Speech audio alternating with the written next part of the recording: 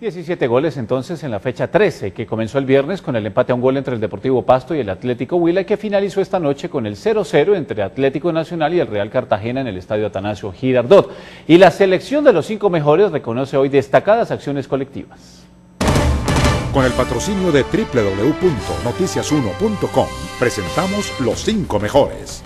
En Manizales, en medio de los charcos del Estadio Palo Grande, vino este paso de John Biafara, la cortina Johan Fano, Sebastián Hernández aprovecha que se cae el defensa del Deportivo Cali, hace un bonito enganche hacia adentro y se la entrega al peruano, quien ya con Blasquez eh, ha batido marca para el Once Caldas.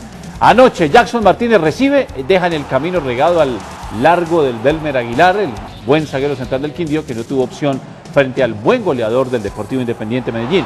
El pase del Choronta Restrepo para Luis Fernando Mosquera, aguanta al defensa y suelta este remate acomodado a la base del poste de la mano derecha del arquero del Deportes Quindío.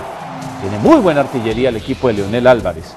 Anoche en el Campín, Gerardo Bedoya para Roballo, Roballo para Siciliano y le pega de primera sorprendiendo al arquero Agustín Julio en el empate en el clásico 257 que tiene Millonarios y a Santa Fe, haciendo cuentas en lo que resta del torneo si pretenden ir a los cuadrangulares.